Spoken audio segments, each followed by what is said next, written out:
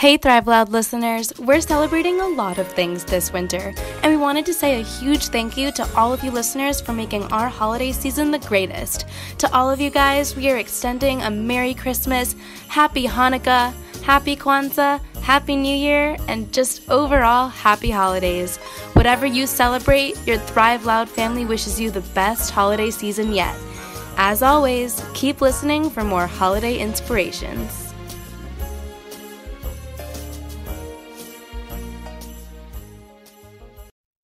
Nobody puts baby in the corner. Okay, this, um, it's that line that everyone remembers from Dirty Dancing. And what the heck is that all about? What's so bad about sitting in the corner? I mean, I kind of like it. I mean, it looked like it was a pretty good view of the stage from the corner, so I don't know what baby's complaining about. Personally, I like sitting in the corner when I go out. You're totally not in the way of the wait staff, and it can be kind of cozy also. So, what's Johnny's problem with her sitting in the fucking corner? Settle down, boy. Settle down. But I guess we finally got me to read a funny opening from that movie. I really needed to get that one out. Feel much better. Would you like to learn from those that are taking their lives, their businesses, and their passions to the next level? Best selling author of Speakeasy and master connector Lou Diamond is here to connect you to some of the most inspiring and amazing people on this planet. Get ready to thrive loud with Lou Diamond.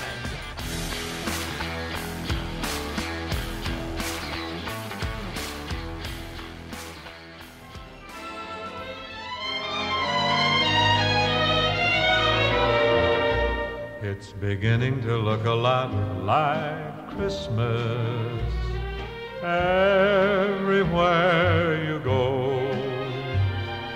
Welcome, everyone, to another fantabulous, spectacular, absolutely awesome episode of Thrive Loud with Lou Diamond, connecting you to the most inspiring and amazing people that are thriving each and every day. I'm your host, Lou Diamond, and today on Thrive Loud, we have the person you call when you're ready to do the hard work of leading yourself and leading others. She's an executive coach, an in demand keynote speaker, researcher, contributor to Harvard Business Review, and a best selling author. Her goal is to empower leaders to understand and honor the beautiful complexity of the humans they serve.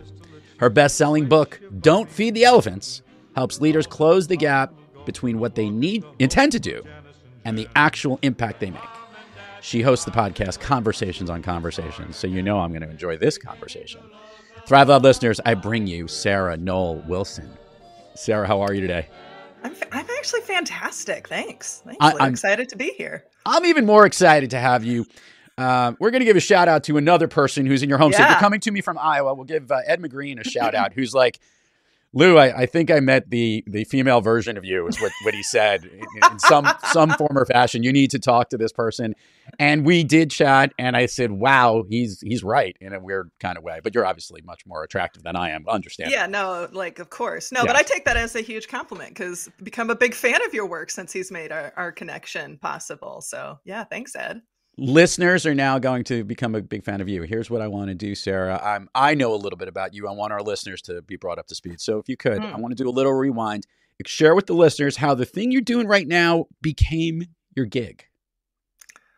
I'll try to make it brief, you know, because my my my backstory is I was a theater major and I started on the stage and I, you know, the sto- the way I tell the story is I chased a boy uh, to Des Moines. That worked out. We've been married 15 years. And I found myself in insurance because I wanted my nights free and insurance to be able to live a life.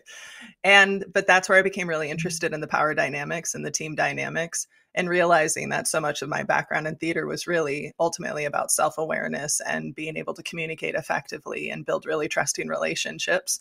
So I got my master's leadership development, became really passionate about that.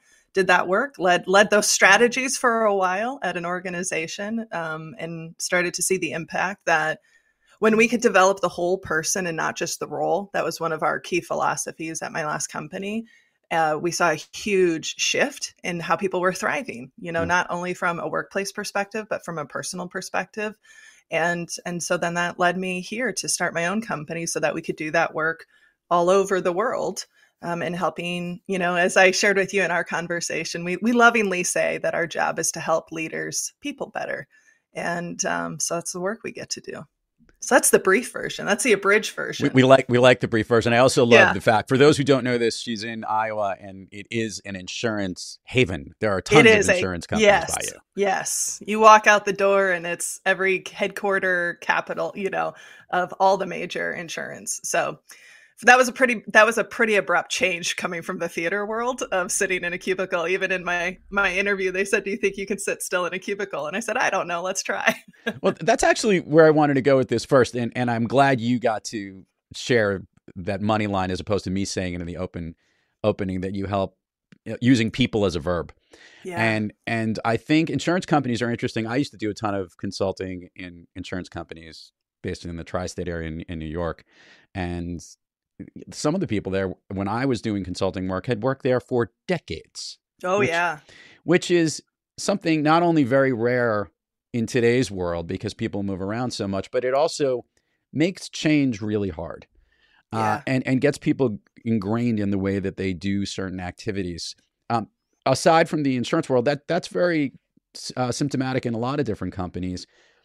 When you go into organizations can you highlight the biggest problems you see where they're not peopling well? Where, where are they not treating the people the way they should?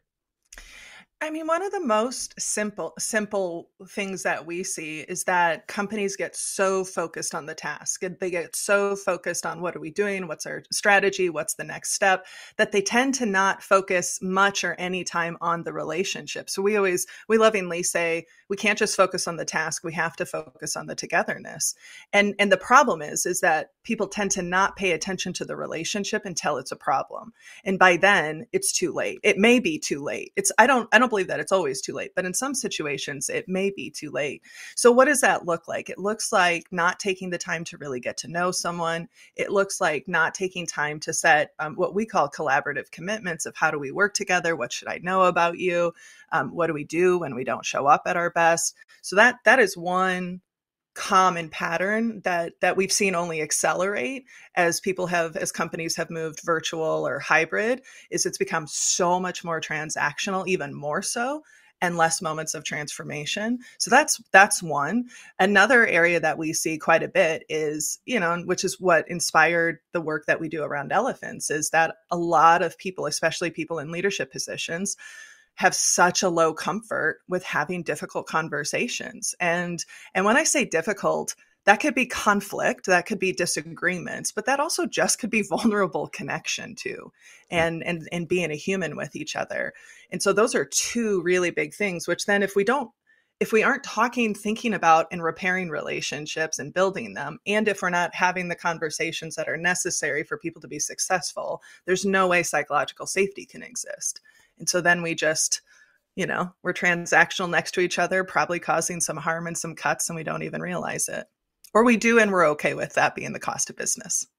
Listeners have obviously figured out with her focus on the importance of having difficult conversations why we connected so much, obviously, in my message about connecting with every conversation.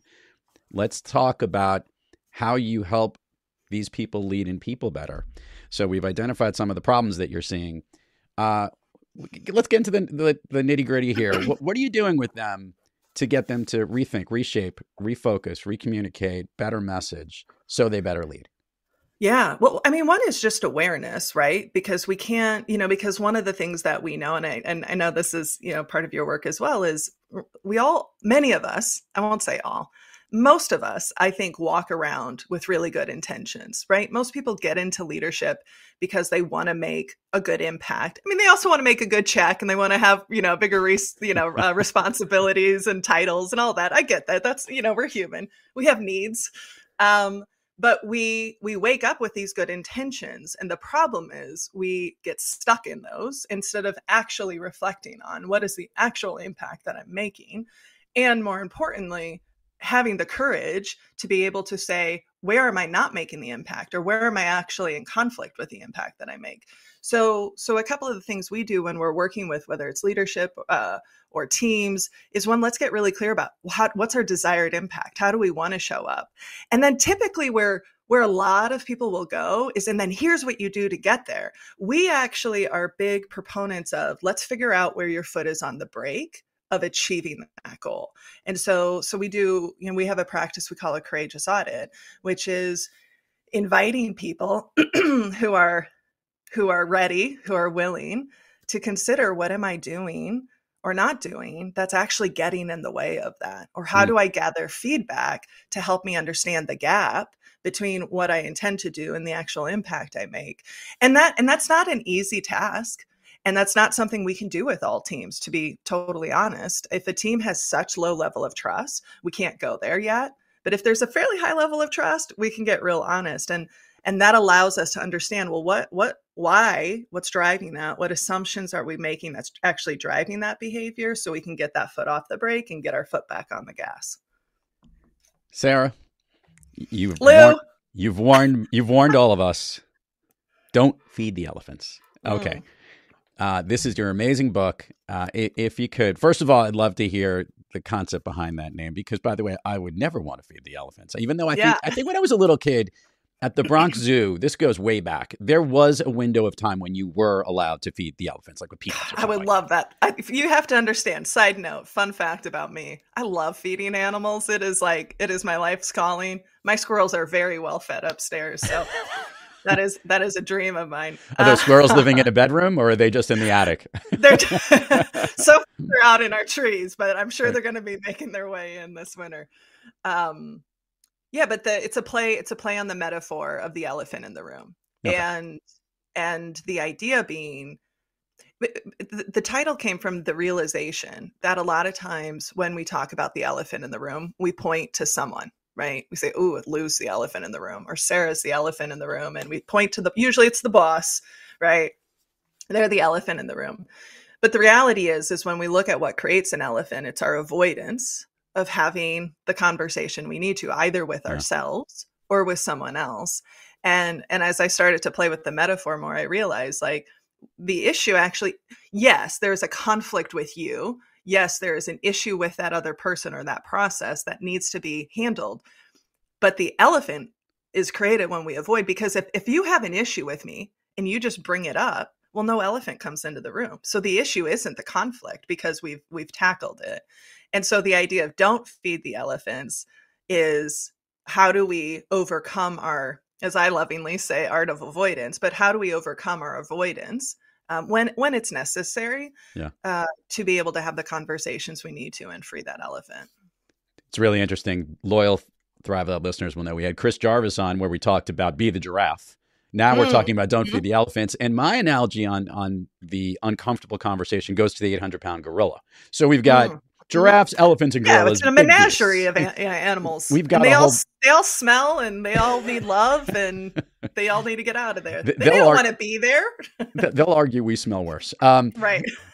so, so here's here's an interesting tactic, and this this is something that I know is really important. Is that there is a genuine fear of having conversations about yeah. uncomfortable conversations at work, and and you made an interesting point of like who the elephant might be. And many times, many times it is the boss. And because of an hierarchical, hierarchical structure or, you know, the fear of upsetting those that are responsible for how you get paid or whatnot, uh, communication lines are difficult because yeah. when the elephant is the boss or when the 800 pound gorilla, the problem in the room is the boss, the conversation still needs to be had. How do you create a leadership environment that enables two-way communication effectively and helps maybe even people in the leadership roles to understand when they're being the elephant. It's well, no, I, I, Lou, I love. Well, first, I love that you are calling out. Um, um, these aren't the words you use, but this is what I was hearing you say. How critical it is that the leadership creates that space, yeah. because that's one of the things we have to name is that power dynamics happen, whether it's because of formal roles, right? Like my manager and I'm the team member, whether it's informal roles. You know, for example, when I'm the only woman in a room, I'm heard differently. Um, sometimes, right? We know that that's a bias. Um, so there's informal power dynamics as well as who who whose voices get listened to and, and whose don't. So we have to be aware of both of those. But but particularly talking about leaders, and when I when I describe leaders, you know, I ultimately describe them as people who have positions of power and authority. Yeah. Uh, you know, if it makes you a leader, is what you do with that. But it is so important that we're intentional about creating that safety because you you know i even me in my in my team in my, with my colleagues and i work really really hard to be intentional to be open to seek out feedback to do all of that and i also know that there will probably always be things that won't be said to me as directly simply because of the hierarchical nature and the power dynamic right and and and one of the traps i see especially I see this in, in the executives that I work with, the CEOs and the COOs and the CFOs, right? They say things like, but you know sarah i'm just lou. Like people can come talk to me i'm like oh but you're not. You you can control their livelihood. You can control how much they make. You can control access to what projects they get put on. You get to i mean you have a considerable amount of control over truly their sense of safety and survival so you aren't just lou and you have to be aware of that. And and so some of the strategies that i mean one of the ways i'll, I'll speak really explicitly um, well, two quick things. I'm I'm not a fan of the phrase an open door policy. I think it's cliche. People mm-hmm. say it. I also there's two things wrong with that for for me. One, it implies that I can shut the door, um, even though that's not your intention. But the second is it it's a passive response. Like you need to come to me. And so one of the practices is if you're in a position of, of leadership is how often are you going to people, not in your office, but how, you know, or even if it's virtually, so maybe you are in your office, but how often are you reaching out? You're going to them, you're asking people questions. So that's, so that's one thing to be aware of is do you, have you created a culture of like passive receptivity? Well, that's not going to actually create this as much safety. I, what I have seen is such a critical point in a relationship between a team member and a manager is when there's feedback given. And so, for people who are listening who are in management positions and they're going, How do I create safety? One of the ways is to start asking for specific feedback far more regularly than you are. Yeah. Most managers don't ask for it at all. Many will get it once a year in their 360, or they'll ask the generic question at the end of the one on one What can I do for you? Um, which again, a generic question is going to elicit a generic answer. So be really explicit about your ask. Hey, Lou, I'm really working on not interrupting people. And I would love to have you reflect on times or, you know, whatever the case might be, whatever you want to insert. Now, the reason this is important is not to gather the information solely, it is to show that person you can receive any kind of feedback, even if it's hard, yeah. which requires emotional regulation on your part to be able to show up in that moment because how we receive critical feedback in particular to me it's not even about the feedback. It's about did i create a safe space for them to disagree with me? Yeah. I, I find i find it fascinating. I, I love what you say said here about the the frequent nonstop feedback. Like l- let it keep coming whenever it should be. I, when you mentioned the open door policy i always think of that movie. I think it's called like friends with benefits or something like that. And and, and I'm not even kidding you. Like um, um, Justin Timberlake takes the door off of his office to show like the people where that he's working oh, that he has yeah. an open door policy. and and you know everyone's kind of like, all right, you get the idea. Yeah, but I do yeah, yeah. I do recognize there's still a doorway. Uh, mm-hmm. If if the organization sees it on one level and within that one organization, I, I think it, has got to be pervasive. I, I, I was just thinking that one of the best benefits i started off in professional services in in consulting organizations. And i remember they said this is 30 plus years ago that they were hiring the people that they saw could be partners in the firm. Hmm. and i thought that that was really important. They weren't looking for people that were fitting a role at a junior level. They were thinking who would eventually lead the company. Any person in the organization had the potential to be someone that could be leading a division a group a, a region the entire organization and that's the way that most companies should be thinking when they're bringing people in. It's not filling a role, it's mm-hmm. adding a cog to part of the organization so that you are bringing in future leaders. And yeah. your definition of leaders, you know, like, yes, these are the people that are of authority or higher up.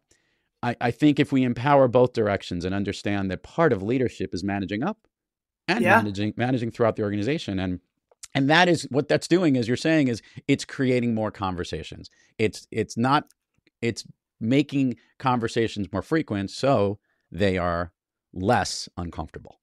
Yeah. Well, and one of the it's so yeah, so let's speak to that. I totally agree with you. You know, we we we like to think of leadership as a verb. It's something you do. It's something all of us can do. You know, it's like something we all do some of the times, right? Right. It's you know, it's an intentionality, and so I, I appreciate your calling calling that out.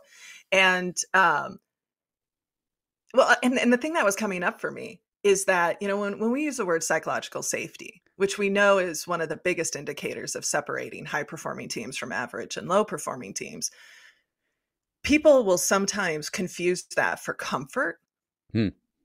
And that's not the same thing, right? And and so so being able to have the conversations, being able to say, I actually have a different perspective on that. I disagree with what you said, and that we can have that conversation, right, in a way that is you know civil and whatever the case is. But but but a lot of companies really struggle with even that Yeah. because if if you are if your company and i think this will i know this will resonate with some of your listeners if your default is avoidance then when somebody does speak up it one often they they're magnified and they're they're perceived and it's like they have more arrows now against them um, they're perceived as more aggressive than they really are because the default is total avoidance and and i and i love that idea of like we should be bringing in right like the the future leaders i do believe as a manager my greatest goal is to become irrelevant Right. like Exactly. if, if i build up the people around me and they you know like i should be moving on to something else and they should be moving on to something else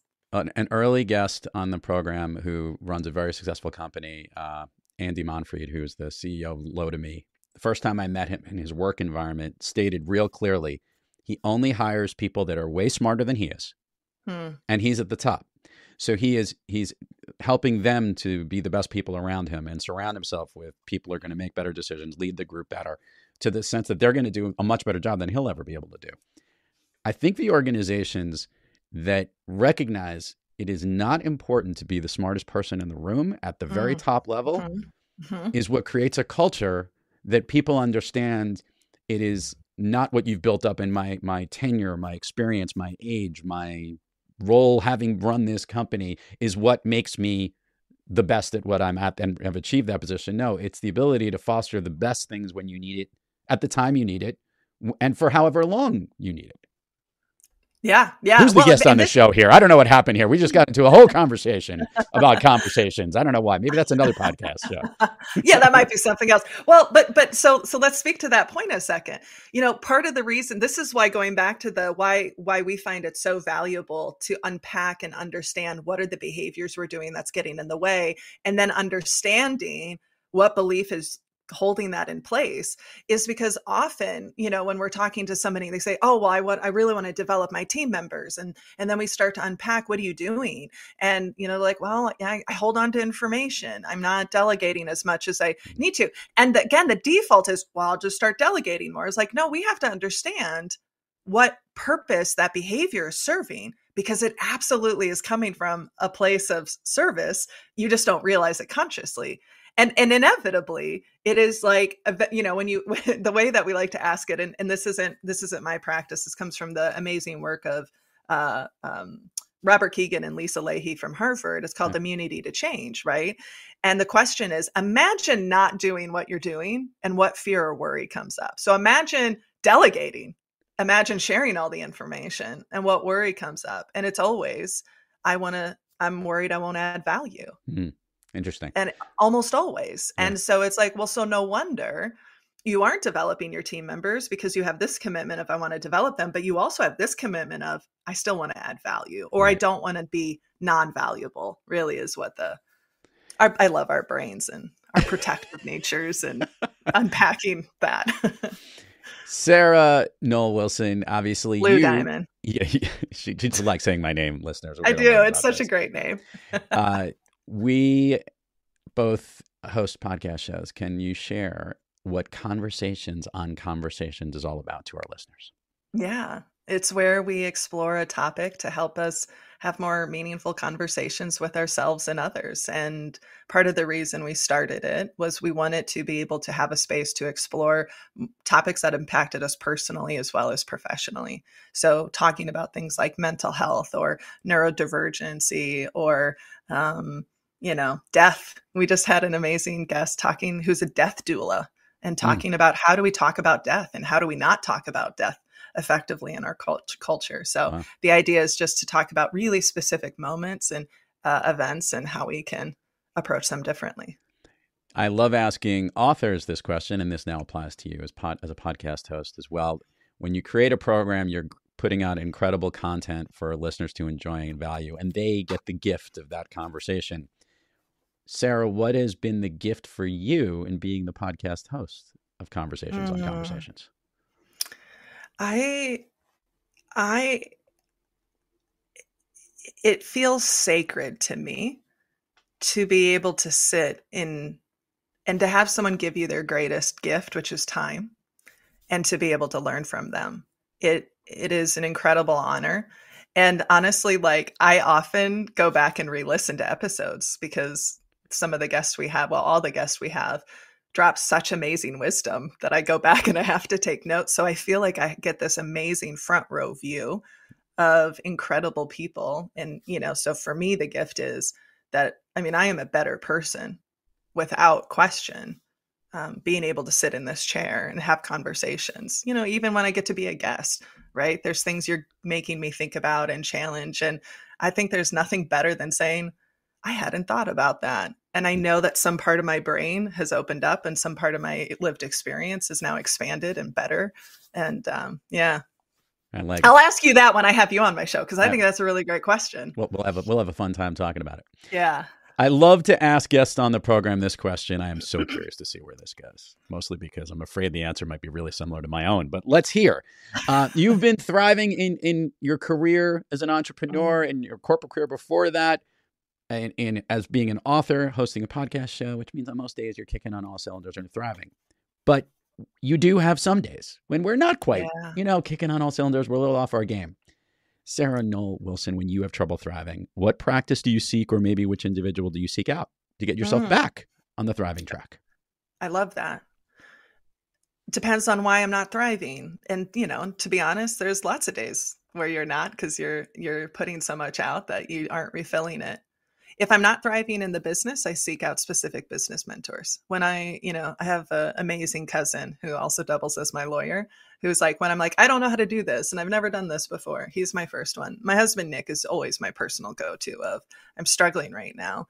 Um, but one of the practice, one of the things I know about myself, and this is actually, okay, so here's a good example of creating a culture of safety where your team members can share information because this bit of wisdom about myself actually came from my colleague dr teresa peterson. Hmm. and we were talking about when when i she made the observation. She said i know when you are at a high level of stress is because you start to feel like everything is disorganized you know I'll, I'll be like oh we're just not we're not clear on our agenda or i'm just struggling with the house feels disorganized and and i'd never realized that when my mind feels disorganized i perceive everything else in the world as disorganized and i sort of feel this need to want to just um, not not control it, but just I'll feel I'll just feel out of sorts. And she made that beautiful observation. So now when I find myself going, oh, we just have to like clean the house, or oh, I just have to organize my inbox, I realize like, oh, it's not about the inbox actually there's something else that I need to do. Hmm. And then the you know, and then personally, I I work really hard to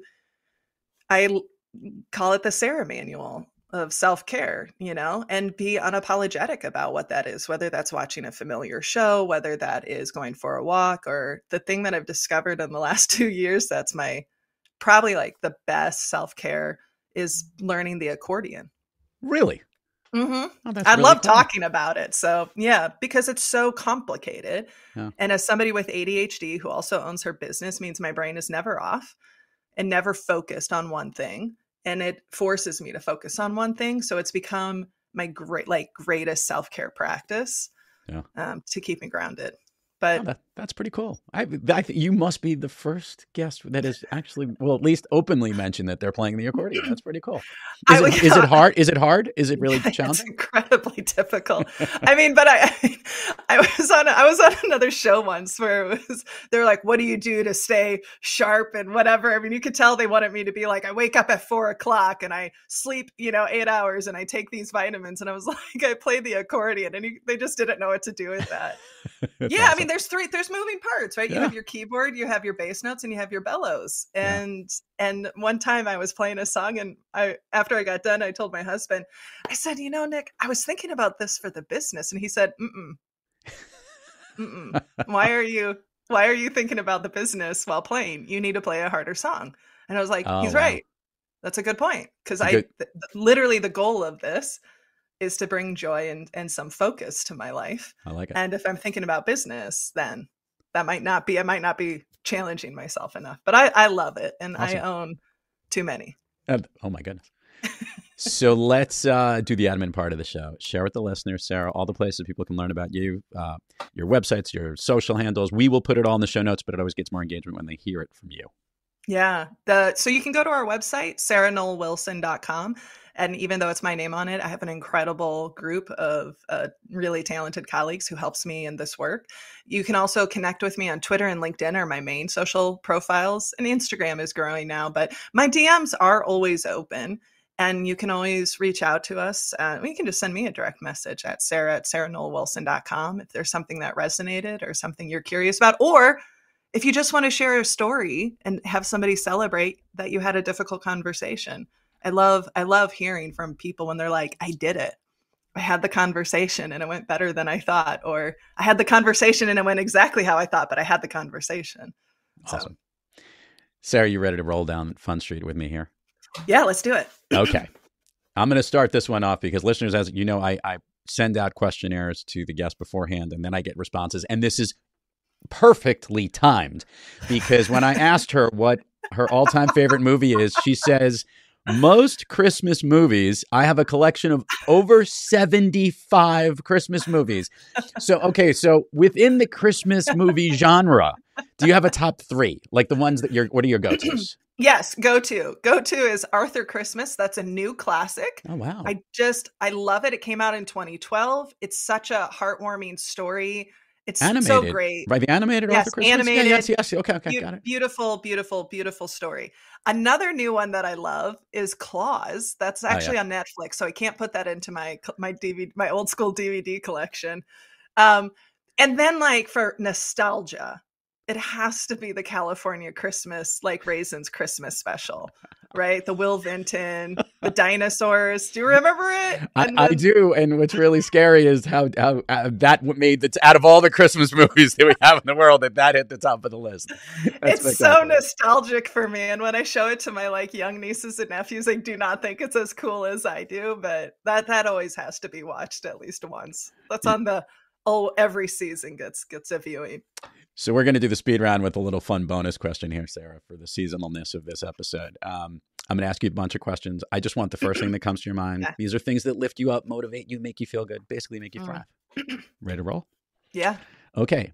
Of late, a song that you love to listen to or one that pumps you up. uh anything lizzo Okay.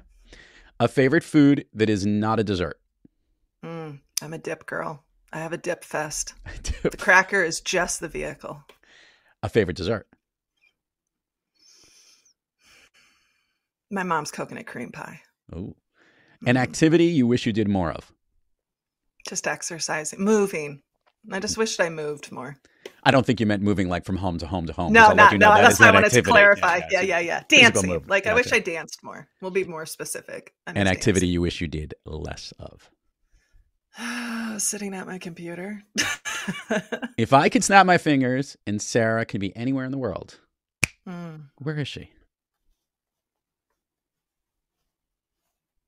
Well, my first thought was Disney, but I'm not really like a fan of all the changes they're making, so I was like pushing against. But my default was like Disney with Okay. with friends and family. But then the the close second is um some quiet ponds fishing Oh, with okay. my family. Last question, since we're, well, I'll go back to this the music question. There are so many Christmas songs playing on the radio, literally wherever you go, any store. What is the Christmas song that is the go to in your mind at this time of year?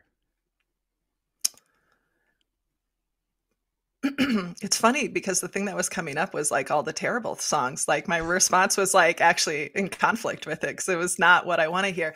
I, am a big fan of it's beginning to. I feel like I start the season. It's beginning to look a lot like Christmas. Like it, and I won't even finish it. It'll just mm-hmm. be like it's beginning to look, and you know, people are like, "No, Sarah, it's October. Stop it." Sarah Noll Wilson, truly a pleasure to have you on. Everybody's got to check it out. Don't feed the elephants the Conversation on Conversations podcast or Conversations on Conversations mm-hmm. podcast. Mm-hmm. And uh, truly a pleasure to connect with someone that it's like talking in the mirror. It really is. Such a gift. This is so much fun. I can't wait to have you on. you got it. And to all the listeners out there, thank you for joining us. And until next time, keep moving onward and upward. And remember, be brief, be bright, be gone.